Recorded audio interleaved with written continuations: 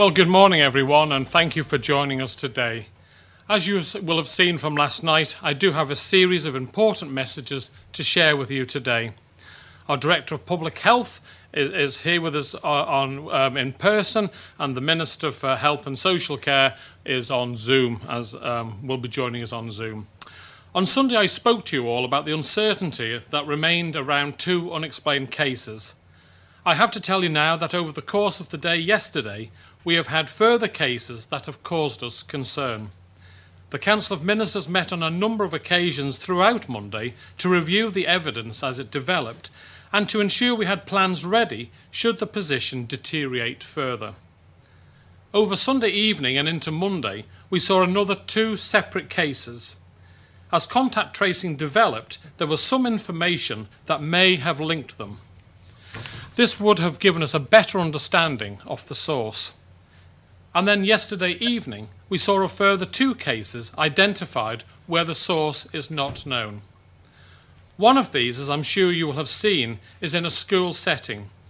We received confirmation of this late last night, and the Council of Ministers immediately held an emergency meeting in response to this.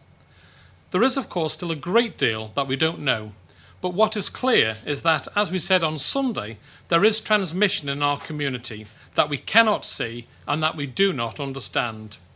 We can now see that it is not an isolated couple of cases, but more widespread. And this concerns us for a number of reasons. It concerns us because our hospital is still facing winter challenges and has very little spare capacity at the moment. It concerns us because we want, we want nothing to jeopardise our vaccination programme that is about to enter a new phase with significant supplies due to arrive onto the island throughout this month. It concerns us because we have seen what has happened elsewhere when community transmission is left unchecked. I would also stress that we are very mindful of the significant cost to any form of circuit break lockdown. I do not just mean the obvious financial and economic costs, but the human, health and welfare costs. At this point, I'd like to hand over to Dr. Ewart to give you an update on the current position as it has developed.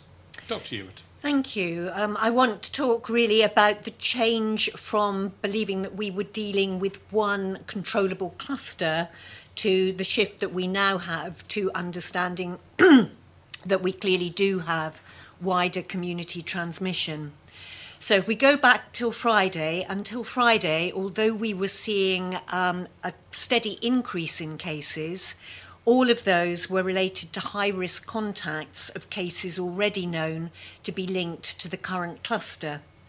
The two cases that emerged on Friday evening couldn't be so linked, but in both those cases, apart from household contacts, other wider contacts had been really quite limited apart from a few low risk locations of interest. So again, although we couldn't tie those cases definitively, well, at all back to the cluster, there was a lower level of concern about the wider implication for onward transmission. Uh, things then began to change on Sunday with the identification of a third community case, which didn't link to either of the two others or to the cluster. Then on Monday, we identified a close contact of that case, but at that point, um, there was evidence to indicate that that, in fact, might give us a link back to a venue associated with the cluster. So it was really not until last night and the emergence of two further completely unrelated cases that the level of concern and the level of risk definitively rose. And in that case, those two additional cases have confirmed considerable spread in terms of geography um, and also in terms of the different demographics of the case individuals involved the timing still makes it likely that they are in fact linked to the cluster, um, but whether we will ever be able to definitively understand the missing links, that is, the people through whom transmission must have happened, to take it to where it's got now, uh, we may never know. So clearly, we will still be following all the usual best practice for contact tracing, but there is a much wider community spread issue out there now which we need to respond to. Thank you. Thank you, Dr. Ewart. On current projections, we hope that we will have given a first dose to all our priority groups, so all over 50s and all adults who are clinically vulnerable during April. If we were facing the same situation in a month's time, then perhaps the outcome might be different. We hope that progress on our vaccination programme will continue to build our defences and mean that we, that we do not need circuit breakers in the future. We know that there is a moment where we will be able and will need to move from a policy of local elimination to one where we live with the virus. The situation around us beyond our shores is changing fast, and we are not a million miles away from that point. But equally, no one around the world is saying they are quite ready at that point yet. Later this week, we will be publishing our medium term approach for returning to a more normal situation with our borders and that longer term outcome has to be the ultimate goal that we focus on. We had hoped to publish it earlier, but obviously events have unfolded at pace. So in the future, our approach may be different, but we are not there yet, and we need to act now in a way that we know works. If we allow our health and care services and vaccination programme to be destabilised, then that plan might get derailed or delayed. That is why we tried so hard to wait to have more information and ensure our response was proportionate. Late last night, we decided that we do now need to act. After lengthy discussions that weighed heavily on our minds, we have decided that we cannot allow anything to put this longer term exit at risk. We need to intervene now. If we do, if we do so now, and if everything, everyone does their bit, we will stamp out the current outbreak that seems to be moving under the surface of our community. Once we get into the future and our most vulnerable are protected, we may be able to take things differently. But right now, we need to eliminate this outbreak. We do not want to be in and out of lockdowns and circuit breaks. We have gone in hard and fast, and this has worked. We decided that we want to do the same again. We have therefore decided that we will be heading into a further circuit break from one minute past midnight tonight. So, for clarity, the first minute of Wednesday, we will be putting in place and legalising for a set of clear measures. We will be doing this as we did the last time, for a period of 21 days. We will review this constantly, and as before, we will only keep measures in place for as long as we judge them necessary. If we can adjust them earlier, we will. If we have to extend, we will. This time, as well as the number of active cases, progress in the uh, vaccination programme will be also an important factor for us. The measures will be similar to what we had in the last circuit break. It worked last time and we have every reason to believe it will work once again. These measures will come into force from the first minute of Wednesday, but I would encourage everyone to start immediately if possible. Let me take you through what we have decided. It is broadly where we were in January. We need you to stay at home. There are only a few exceptions to this. For essential things like getting food, daily exercise, or work, if you really cannot work from home. You can also leave home, of course, if you are going for a medical appointment or to be vaccinated or tested. We will be implementing social distancing measures, so two metres, in all settings where it is possible to do so. If you do go outside, we strongly advise you to wear face coverings as much as you possibly can. We will again insist on this on public transport. If you go outside to exercise, please do so in a way that is safe Keep your distance, respect others, and avoid crowds. We need you all to, to stop all household mixing. This is absolutely key to stopping the spread. All hospitality and leisure venues will need to close. As last time, they will be able to offer takeaway and delivery services, but no eating in. All non essential retail must close to the public, as last time. They can offer delivery and click and collect services we will again allow building suppliers to open for trades, but not to the general public. All lifestyle businesses, hairdressers for example, must close. From tomorrow morning, schools will close to the majority of pupils and the online learning which worked well in January will recommence. The schools and their ex existing settings will only be open to children of essential workers and to vulnerable children who need it. If parents are able to work from home and keep their children at home, it is essential that they do so as numbers are limited. We are keeping the schools in their existing places this time rather than consolidating in hubs based on feedback the department received. This is to give a better, more local service to those who really need it, vulnerable children and those of essential workers, but it is just for those who do. Parents are asked where possible to keep their children at home as space is limited. In line with the third week of our last circuit break, we will not be stopping the construction or other related trades where they are outside or on vacant properties. We will, however, require them to fully practice social distancing and other mitigations, and they will not be able to enter any households unless for emergency repairs. Allowing these trades to continue is based on feedback from last time, and taking on feedback is something we have committed to do every time we have to step into difficult positions such as this. Everyone who can work from home must do so. We need businesses to support their employees on this as they did before and ensure that they have only staff who are absolutely essential to be on site. Let me again thank everyone, including all of those local businesses who took responsible action over the weekend. We appreciate what you did, and as we have said before, where we make decisions that impact you, we will be there to support you. From Wednesday, we will be reactivating the financial support measures, including MERA, salary support, and the business support scheme. The Treasury Minister will provide a statement in the House of Keys later today. I know this will be far from easy this time for so many. I know there is a great cost in locking down our island and our lives, but we believe the alternative is now even more costly. I know we have asked you so much in the past and I know we are asking you so much again, and I am truly sorry that this is happening. But our collective judgment throughout yesterday and last night, as more information became clearer, was that this is what we need to do.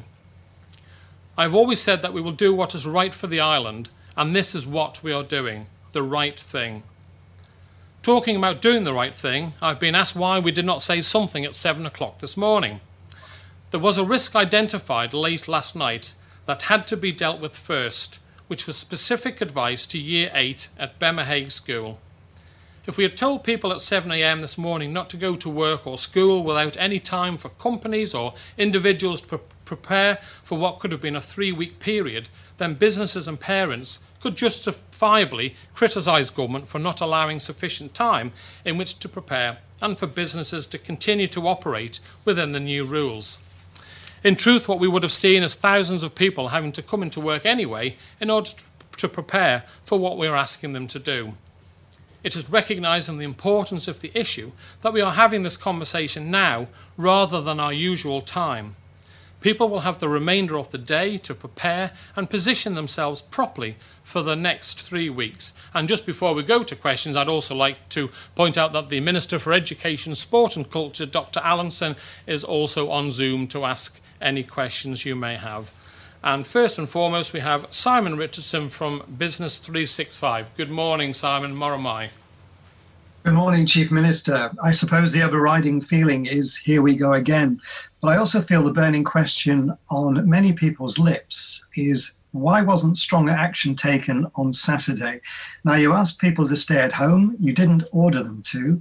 Uh, a lot of people didn't heed the advice, heed the advice, and they went to pubs, attended parties, etc. In effect, we allowed, a, I suppose, a virtual mini Cheltenham races scenario to develop. Now, I acknowledge hindsight is a wonderful thing, but we now face a potentially serious outbreak that might have been curbed at the weekend. Well, at the time we asked, we, we couldn't legislate at the drop of a hat. We asked people to be responsible and not to go out. And I'm glad to say the vast majority of people did stay at home. Large events such as charity balls, um, Douglas Corporation, I think, had an event, and all these were cancelled. So an awful lot of events were cancelled. The vast majority, yes, there was a small minority of people who chose to not respect the advice that we were giving, but at least we did manage to uh, avert an awful lot of gatherings. Obviously, we were waiting for more information. Um, had we we, we had tested the high risk contacts and we were waiting for that to come back to see if they had the um, virus. Uh, you know, over the weekend it became apparent that they didn't have the virus, and, and therefore, as a result, we thought we had it under control. But Dr. Ewart, you might want to expand on that. Thank you, Chief Minister. I think that's right. It's always a very, very difficult call to make. And as I explained when I was uh, going through the timeline of the gradual addition of these unexplained cases, the two that we knew about Friday evening into Saturday had not been out and about very widely at all, which actually enabled us to take a call that from those cases there was little evidence of high likelihood. They hadn't been out in pubs and clubs, they hadn't been to parties or events. So we were able to take that middling view. As the Chief Minister has said, you can't just switch restrictions on and off. There is a process to go through in order to make them legal. So, on the basis of the information that we had at the time, going for that call of putting out an advisory and an information um, approach appeared to be appropriate. Thank you. Thank you. Your next question, Simon. Well, obviously, we're now in a situation where we could have different mutations in the community. Now, which brings us back to a topic that has been regularly aired at the briefings, um, and that's the matter of testing and the breakdown in the relationship between the department and Dr. Glover and her company, uh, Tuxo Genomics. That means, in effect, we don't have real time genomics to respond to cluster cases and identify in rapid time these specific mutations we're dealing with. Now, Dr. Glover says that the whole argument comes down to a biomedical scientist copying her company's software. Now, she's said that she's prepared to put the dispute to one side and work uh, collaboratively with government. So, in view of what we're facing now, um, why isn't this happening?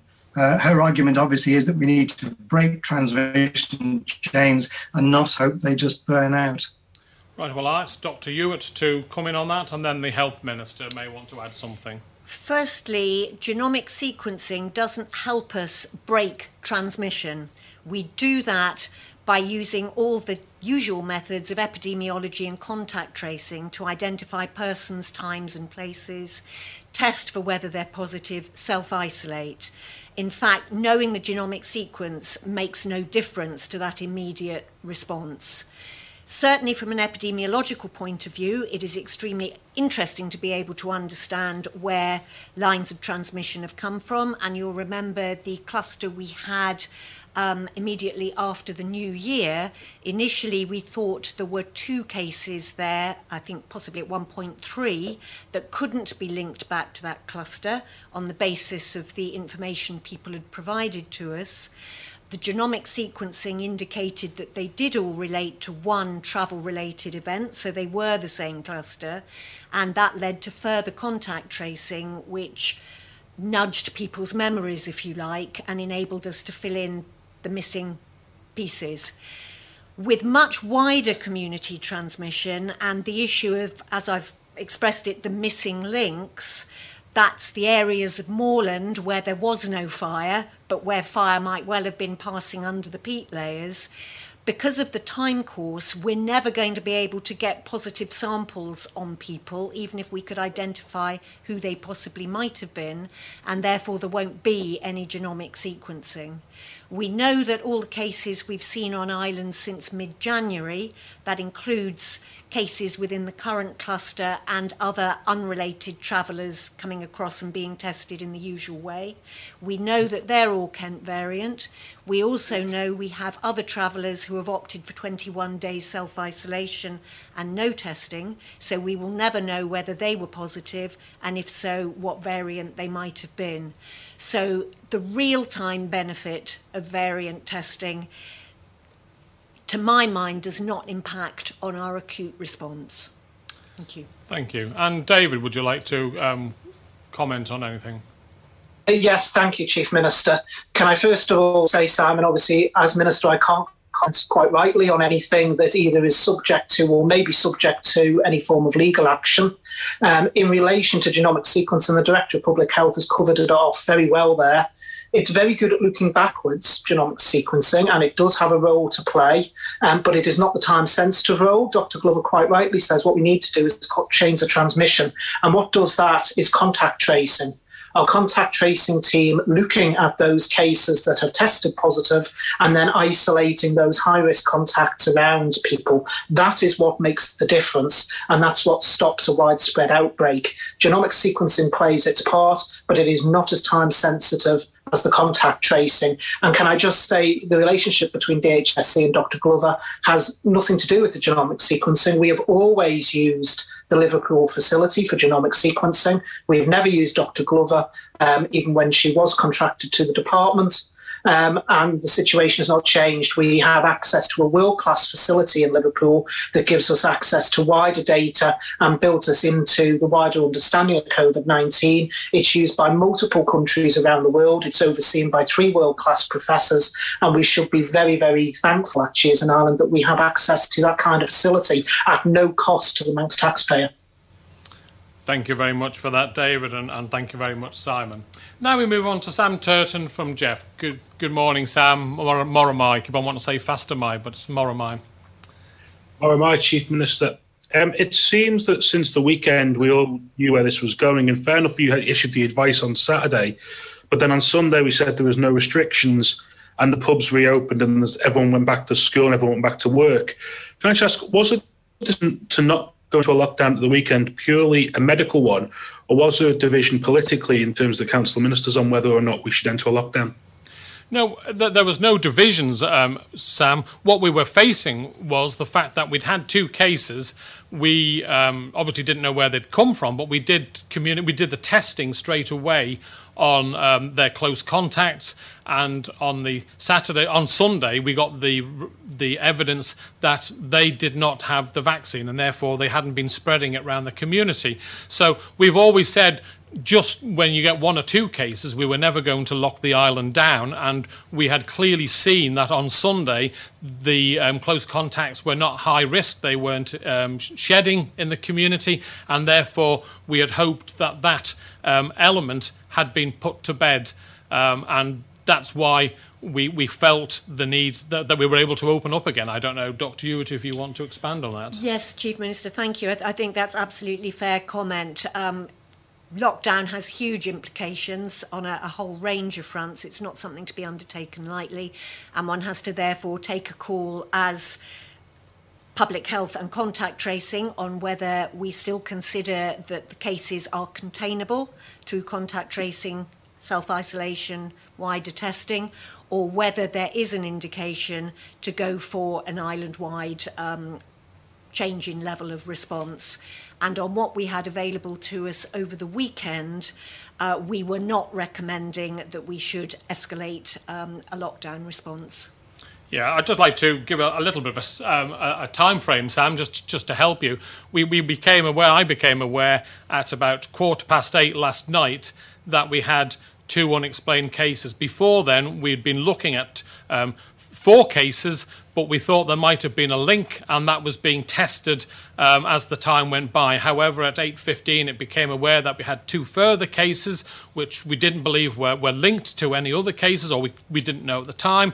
I immediately called a Council of Ministers meeting at 9 o'clock, and at 10 o'clock, we started uh, contacting the, the, the, school that was involved and started to put things in place. So we have moved really quickly on this once we realised it was a situation that we didn't feel that we could control.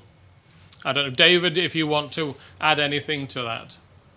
Yeah, I, I, mean, we moved as fast as we could with it. Um, as the chief ministers laid out the timeline there, council meet, council ministers was meeting late into the night to discuss this. We had to draw proposals that we wished to move forward with. They were agreed. Um, they had to be agreed as well. But I think also the other important point to make is that there is always with COVID a time delay in the fact that people tend to present symptoms generally four to five days.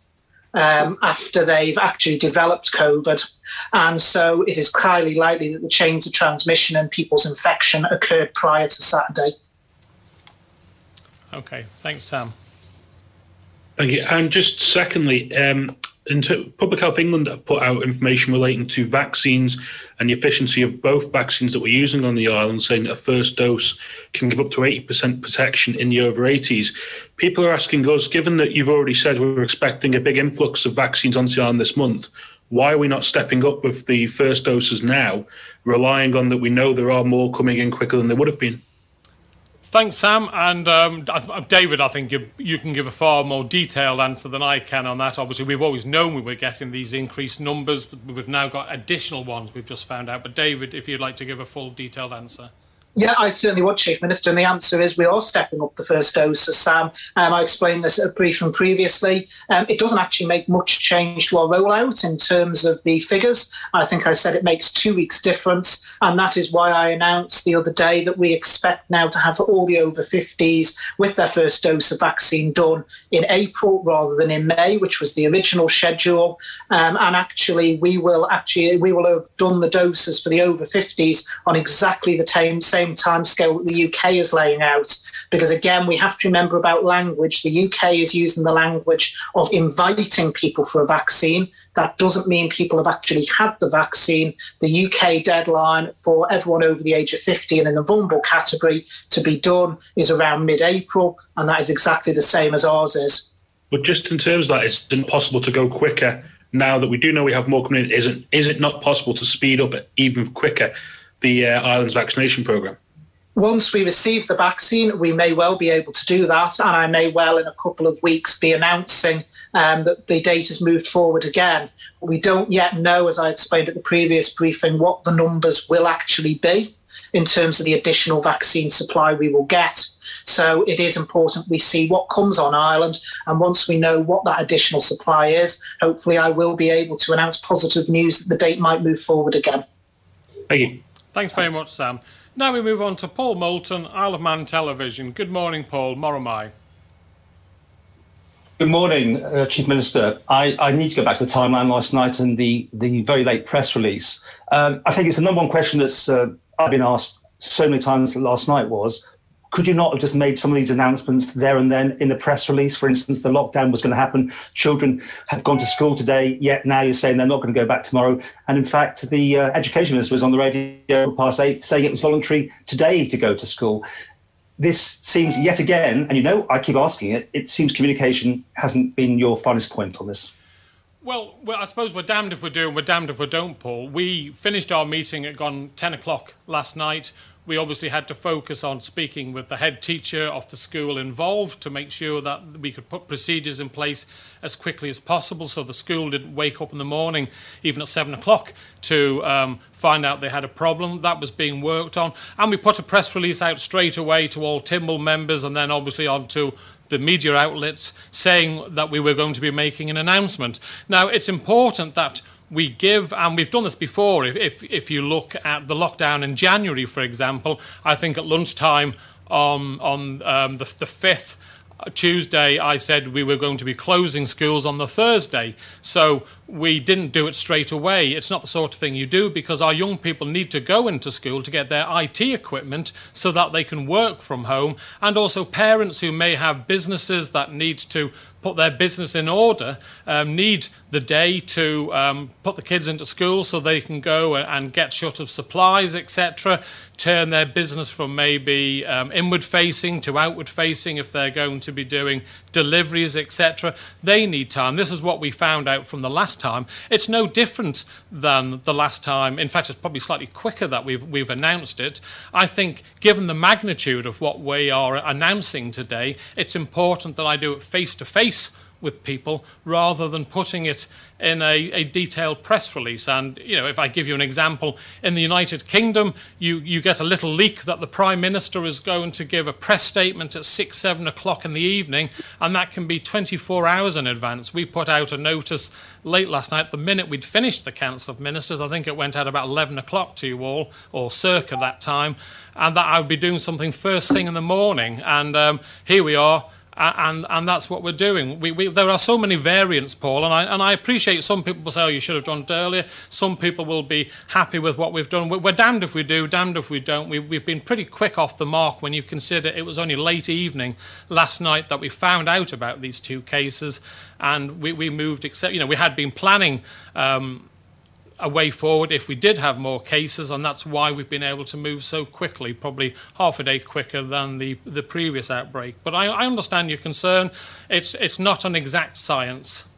Uh, because this is presumably the Kent variant and it's so more transmissible, you've probably put people in, in dangerous situations this morning that could have actually made their own choices not to have been in that situation, surely.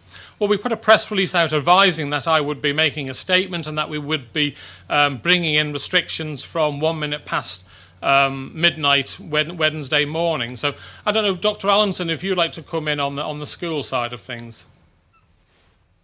Thank you, Chief Minister. I'd, what I'd like to say um, is, in terms of schools, we need time to prepare. That's what today is about. It's giving parents the confidence that their child will be looked after, that they will be given choices, and that their child's education will continue through either remote learning or if their child is um, classed as a vulnerable child or a child of a, of a key worker who has to go to, to, to school, um, then, then, then obviously a key worker has to go to work, then obviously they'll be looked after.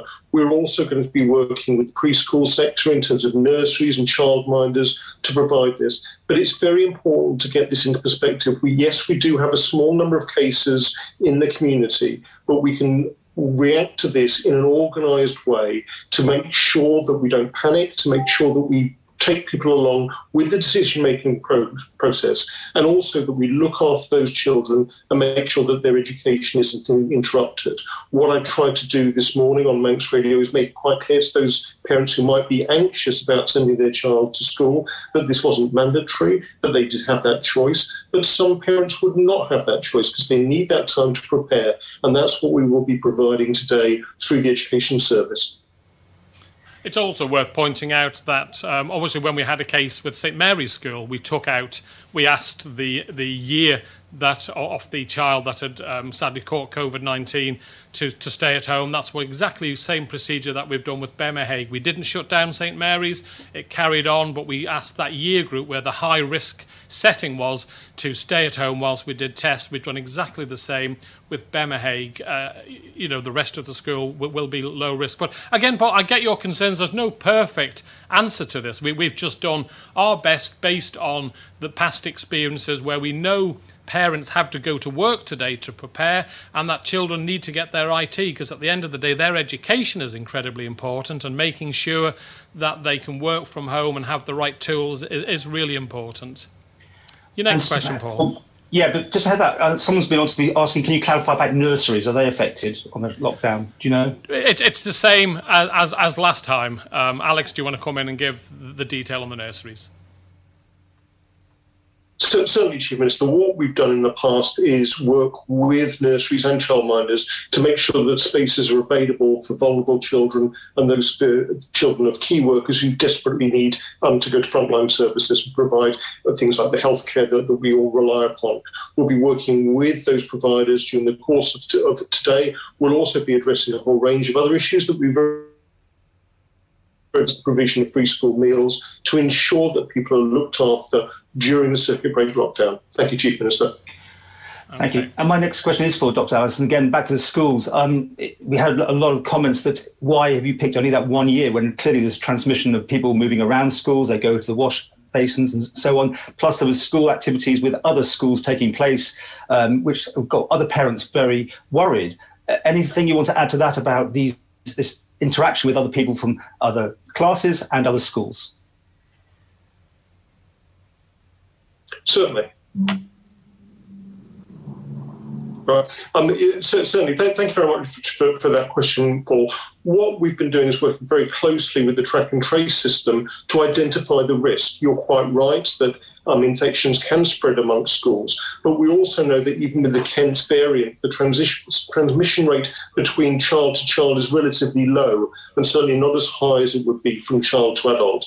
I understand that some of the activities that went through went um, on last week in terms of um, the interaction with other schools were outdoor activities, and so seen as quite low risk. So, what the track and trace system have been doing is trying to quantify that risk so we can react in a proportionate way. We can spend today preparing for the closure of schools, and we can look after those children, take them through what is, again, quite, quite a difficult process for them and their families in an organised way. But we will keep the safety of those children as our key priority throughout this and act accordingly. So, in answer to your question, yes, there is a risk between transmission. That risk has been assessed by the track and trace system and is being dealt with on a case by case basis to isolate that year group, to make sure the infection hasn't spread, and then to take action accordingly.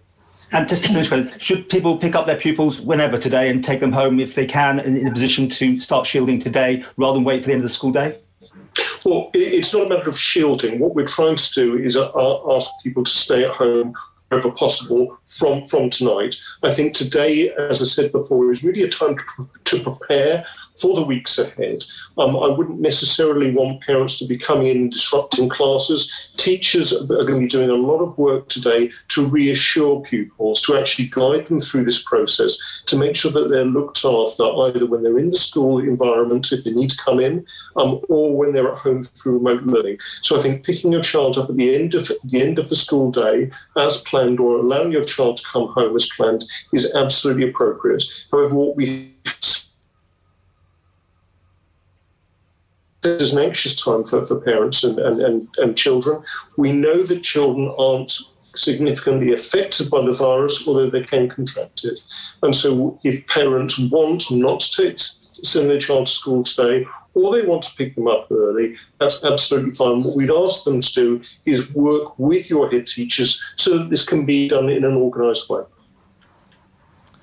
Thank you very much. I think um, we lost a little elements of Dr. Allinson there, but I think the main thrust of the answer was was clear. And as I would say, last time when we had this situation with St Mary's School, the the parents and the pupils and the staff at St Mary's School handled it absolutely excellently with the contact tracing team, and it, it did go exceptionally well. So I have no doubt that um, the same situation will happen with the support from parents and pupils of Bemahague Year 8, and I wish, I wish them all well. Next, we have Helen McKenna from Isle of Man Newspapers. Good morning, Helen. Moramai. Moramai, Chief Minister. My first question is probably for yourself or the Health Minister. Why does it take so long to legally bring in legislation to impose a circuit breaker? Well, you've got to get all your ducks in a row. That's something that we have in place now. Um, we, we've worked on it over the weekend and we were ready to move as quickly as we can do. However, we have to give people time to, to adjust. So um, that's what we've done. We've given people today to get their businesses in order, their children's education, equipment in order so that we can have a successful 21 days with, uh, without people needing to go in and, and maybe cause more problems as a, as a result. So there's an awful lot of incredibly um, complex legislation to make sure it's legal and, and can survive legal challenge. We've, we've got a team who've been working flat out over the weekend and today, and it will all be ready um, and be brought in place for one minute past uh, midnight. Having said that, the legislation could maybe have been brought in slightly early, but it is important that we give people the, the notice today to get on and sort their lives out and, and ready for, for, for this. It's what we've done in the past. This is nothing different, nothing new. Um, so, uh, you know, I don't want to think that this, we, we haven't um, gone into lockdown till tomorrow because of, of the legislation. It's ready. It's purely we're giving the people of the island the chance to prepare. But also, obviously, we're asking them to start social distancing straight away and um, wear, wearing face masks. I know, David, if you want to um, add anything to that. Uh, very briefly, if I may, Chief Minister, it's just to just to say that legislation is a complex process. It does have to stand up to legal challenge. We have to make sure it's right and the first time, and that means we have to go through it in detail. Um, legislation can be turned around same day. What was different on Saturday, which is perhaps what you're alluding to, Helen, is of course it was quite late in the day. We knew there were events due to start about half five that evening. There was absolutely no way on earth with the timing of things that we could have had legislation drafted, approved, and in place for half five that evening. It would have, at the earliest, have been later that evening. So that's why we took the decision. But the Chief Minister is quite correct. At every single time when we've had an outbreak or a cluster, whenever we've had to bring in measures, we have always given people time to prepare. And I think that's very, very important. We've got the messages out there as to what we would like people to do and what we want people to do, but uh, immediately. But then we have said to people, you've got that grace period because there are certain people who may decide, for instance, today that because they're going to be locked down for three weeks in a circuit breaker, that they might want to move in with other members of their family for that period to form a household due to mental health issues and so on. We need to give people time to do that. We have done throughout, and I think it's the right thing to do. Thank, Thank you, you. very much. Your next question, So- Helen. My second question is um, probably aimed at the Chief Minister. How will government ensure that people whose jobs will be put on hold, obviously during lockdown, are sufficiently supported through their circuit breaker? And Doc, Dr. Ewart mentioned before that eventually, obviously, we want to eliminate the um, the we'll have to obviously live with the virus. And is there an alternative, basically, is what, what I'm asking to a circuit breaker? Is there any sort of thoughts into how it can be? I mentioned the, uh, I think last week at the last briefing, a watered down version of lockdown. Obviously, a lot of people's lives are being put on, put on hold. Um, so basically, will there be an alternative to lockdown in the future? Yeah, well, there's two points. First and foremost, the same financial support, Helen, will be there. It'll be started on Wednesday. The MERA, the financial support, etc. What was there in the last lockdown will be reintroduced tomorrow, and the Treasury Minister will give, be giving a statement in the House of Keys today about that. But business as usual from support to people. Now, obviously, had we been in this position, say, in a month's time, when we had given the first vaccine to all our vulnerable groups, then obviously there might have been a more watered down situation because we've said we're, we're never going to have. We're not going going forward to be totally eliminating COVID on the Isle of Man, which is where we are at this moment in time. We will be moving to living with it, but we're not in that position yet because we're still in the winter period for the hospital for beds, and we haven't vaccinated enough people in the um, categories where we had. Obviously, maybe in a month's time that would be different, but we have made one significant change to this lockdown, so to, to this circuit break than we did to the circuit break in January, and that is we are allowing outside trades, the building sector, um, the window cleaners, gardeners can carry on working as long as they comply, mitigating circumstances, social distancing, not going into people's houses, etc., unless it's an emergency. So this circuit break is slightly different, where a significant number of people can continue to work from. So we, we have made subtle Well, quite a significant change there because it's outside and it's deemed less of a risk as we now have more people vaccinated. So we will be moving from total elimination to living with it. Sadly, it's probably come a month to two months too soon, and we felt that we needed to go back into the circuit break to eliminate it, um, and that's the position we're, we're in. But a good, good question, Helen. Thank you very Thank much. you. Next, we have Josh Stokes from ITV Granada. Good morning, Josh. Moromai. Morning, Chief Minister. Um, first question to Dr. Ewart, please. Um, in terms of the lockdown being in place for 21 days, it does feel like a short time to regain control of what's happening. Given where we're up to within with the unexplained cases, what's your initial thoughts on how long we can we could continue to see spread in the community now that a lockdown has been implemented? That's really impossible to call. We will continue to see spread, obviously, within household and close contacts. We expect that, and that's what we saw with the cluster. The wider spread is really down to behaviours. This is a virus that spreads overwhelmingly from person to person via droplets. There is some evidence that it may also be spread by aerosol, that's smaller particles that get up into the air and can be recirculated, and therefore cause infection at a time when direct contact isn't happening. And there is also theoretical evidence that it might be spread by surface contamination. However, in terms of the overall burden of transmission, it is overwhelmingly the direct contact transmission that drives the numbers. And that is down to people's behaviour. If you don't mix, you won't transmit it, you won't be infected. So that's really the message for everybody that you have to take this seriously. Over and over again, we find, and I know it's a, a common feature that's found just as much in the UK and also in Ireland is people justify things to themselves. They think, oh, it'll be all right if I just, you know, go into this household, do this, hug that person, whatever. Actually, you might get away with it, but you might not. And if you don't, it's not only you that takes the consequences of that, it's everybody else that you might then go on to interact with and infect. So you stop mixing, you stop transmission. So we have to take that message very, very seriously. Thank you. Just as a supplementary to that, um, I guess the question, the crucial part was do you think 21 days is long enough to, to control this in a lockdown?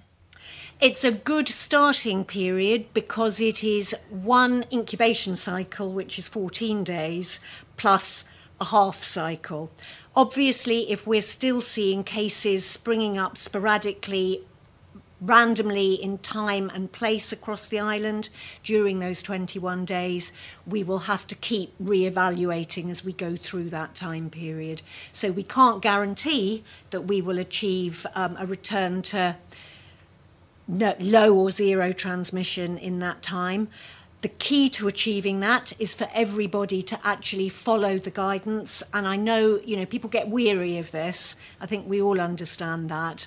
But we do need to take it seriously and not to justify ourselves in breaking the, the restrictions and keep hold of the fact that within a month or two we will be much clearer on the benefit of vaccination and the vaccination program will have been rolled out that much further. And so you know we have to hold to the thought that with luck um, this may be the last time we need to go through this process. Although of course we can't guarantee that. Thank you. Thank you Thank you. Um, my second question to you, Chief Minister. What communication has the government had with the police when it comes to enforcing these new rules? And is it exactly the same enforcement as the previous lockdown we saw in January? What part will the police play in this new lockdown? exactly the same. They did a sterling job the last time in the uh, meetings that we have. Obviously, the Minister for Home Affairs and Justice is part of that, and, and he liaises with the Chief Constable and obviously the Chief Secretary and, and the team when they meet to have discussions. That the Chief Constable is, is, from time to time is part of those actual meetings, so they will be um, fully adverse as to the decision, and they will carry on with their um, well-run procedures that they they did in January. Thank you. Thank you very much. Next, we have Leanne Cook from 3FM. Good, after- good morning, Leanne Moramai.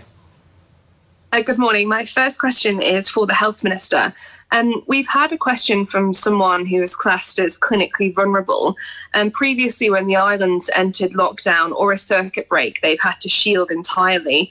They've now had one dose of a coronavirus vaccine. They're just wondering going forward, will they have to take the same course of action or will it change now they've had a dose? Well, thank you very much, Dan. That's a very timely question, actually, because if it hadn't come up in the briefing, we would have been putting a press release out anyway.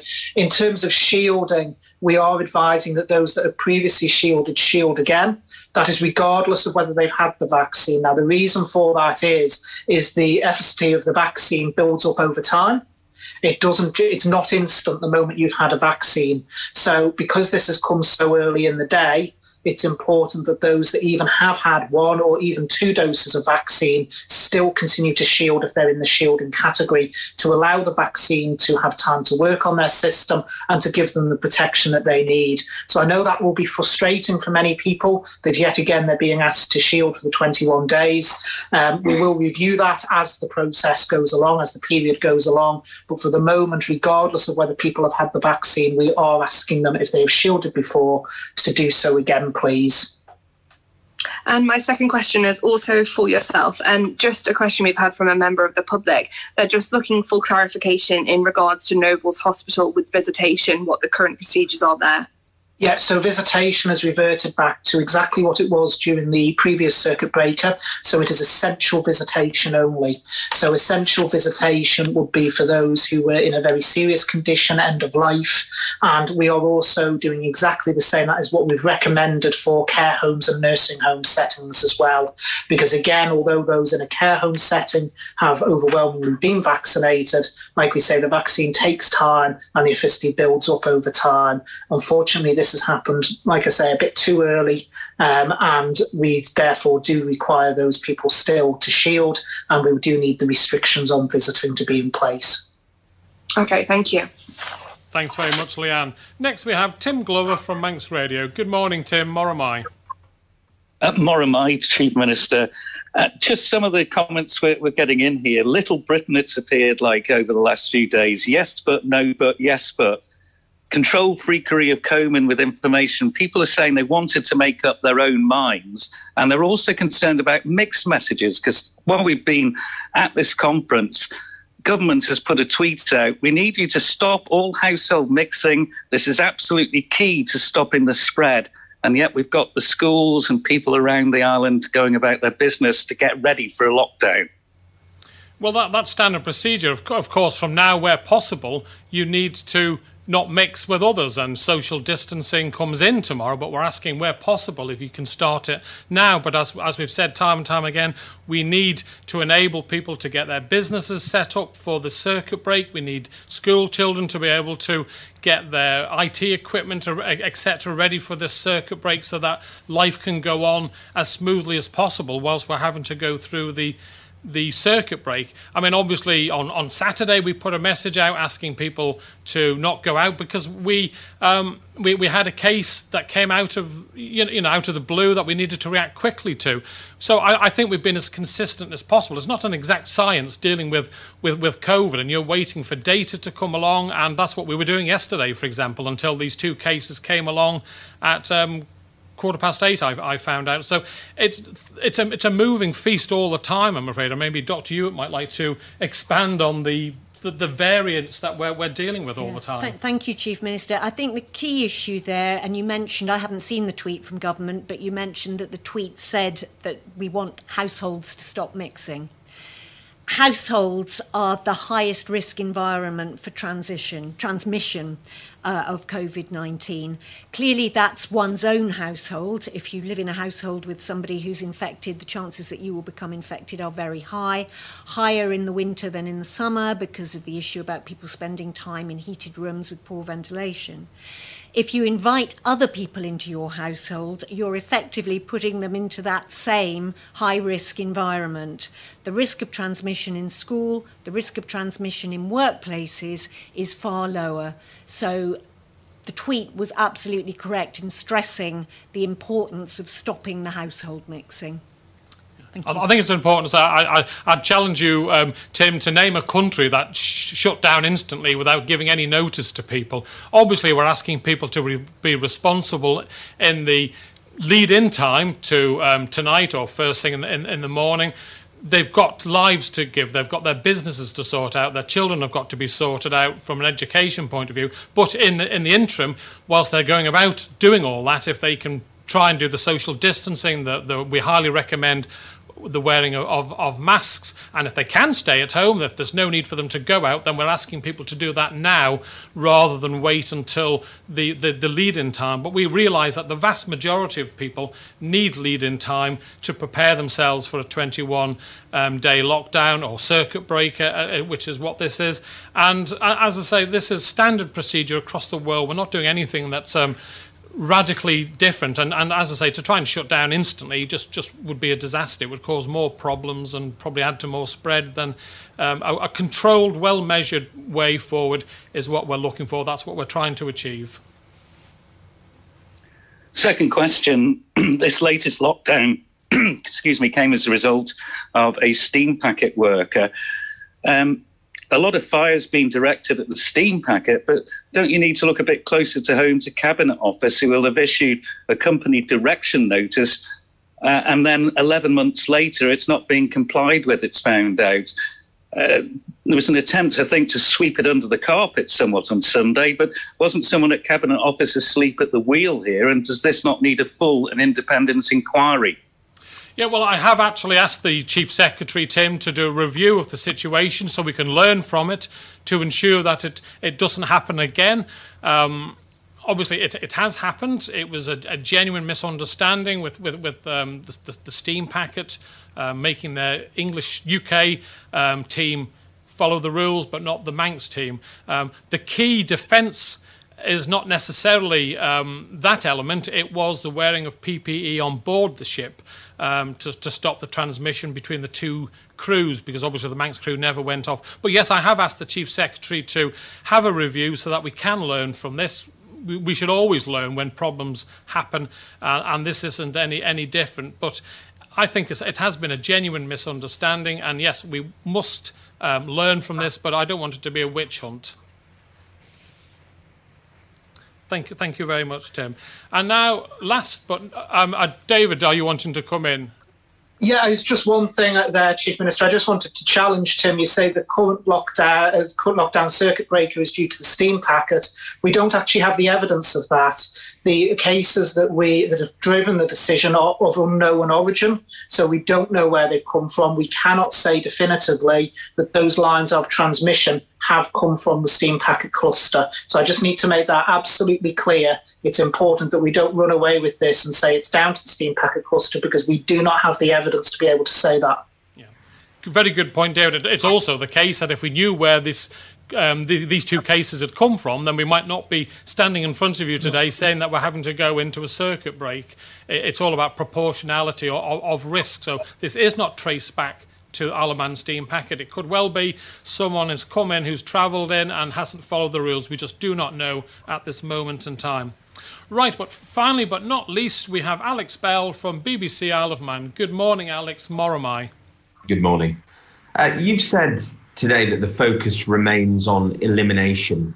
We've known about this cluster for a fortnight now. We've watched as cases grew day by day. Had you intervened earlier on, could this latest lockdown have been avoided? Well, we have a clear policy where obviously we're not going to lock down the island or have a circuit break just for one or two cases. If we know where they've been, where the people have been, if we've been able to um, establish a, a link which we have done on, on, on the previous um, two cases.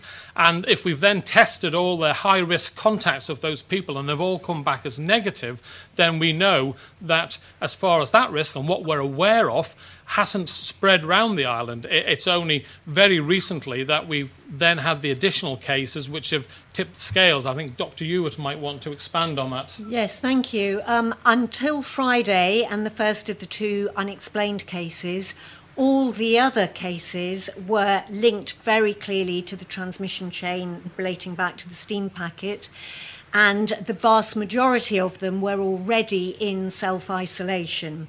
So there was no onward transmission risk from those, given, of course, that they were abiding by self isolation rules, which, as far as we were aware, they were.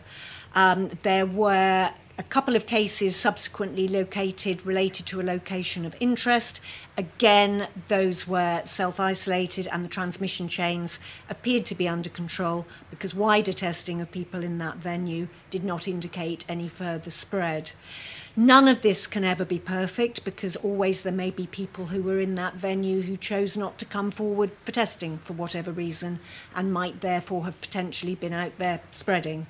So it's an imperfect science, but nonetheless, we do follow standard principles and protocols for consistency because we know from, well, not just the history of COVID, but all the history of epidemiology and contact tracing that that approach actually does work. So it was only on Friday that we began to see issues that caused us to have wider concern that there may be other branch lines of transmission, if you like, which we hadn't got controlled within the approach. And then, of course, the subsequent emergence of cases over the weekend and yesterday confirmed that, and decisions have been made, as you, you have now heard. Thank you. Yeah, I suppose it's quite ironic, Alex, that in January and, and December we had two separate cases. The first case that we had at the towards the end of December we had under control.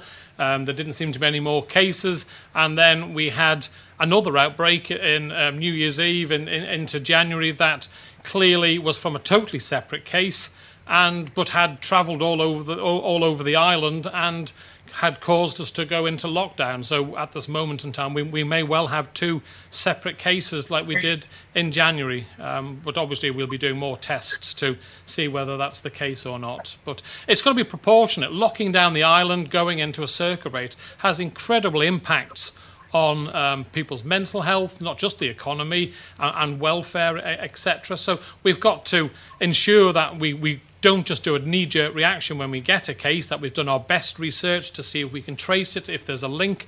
It's when we don't feel confident that we know where a case has come from. That's when we really have to move, and that's what happened to us last night.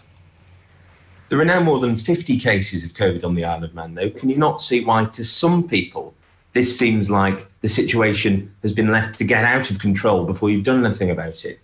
Yeah, well, off those 50 cases, Alex, some of them are travel related. They're not all down to this cluster. Some of them, the, in fact, a significant proportion of the cases are people who were already in isolation and therefore had not been infecting people around the island. They were high risks to the initial um, cluster and were in, in isolation, so they were not in the community. It's commu- unexplained community cases, which is the main um, cause for concern, and, and that's when you make your decisions. We have six, just to put it into context.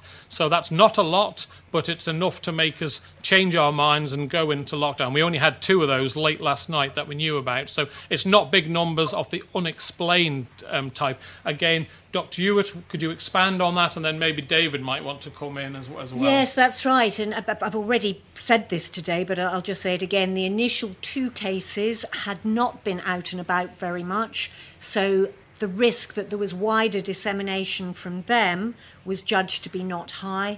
And then, of course, they and their household contacts were placed in so- social self isolation. Um, the subsequent case that emerged on Sunday and the related case amongst the non household contacts that emerged the following day appeared to have a plausible link.